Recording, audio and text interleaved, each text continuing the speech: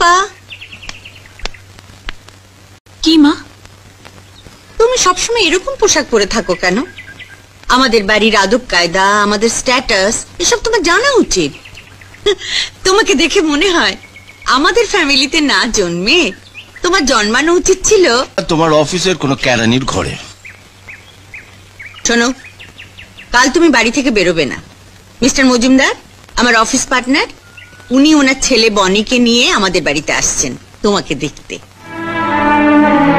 দেখতে আসবে মানে? মানে বিয়ের জন্য কথা বলতে আসবে। আরে কত বড় ঘর আমেরিকা ফিরে সুপাত্র আমাকে বিয়ে করে তোর মা যে ভুলটা করেছিল তোর বিয়ে দিয়ে সেই ভুলটা মা পুষিয়ে নিতে চায়। কি বুঝলে? সব সময় বাজে কথা না তুমি এখানে? তোমাকে কোথাও খুঁজে পাচ্ছি না। আমি যাচ্ছি। কোথায় যাচ্ছিস এখন? কলেজের বন্ধুদের সঙ্গে আউটিং এ যাচ্ছি। ফিরতে রাত হয়ে যাবে। আসি?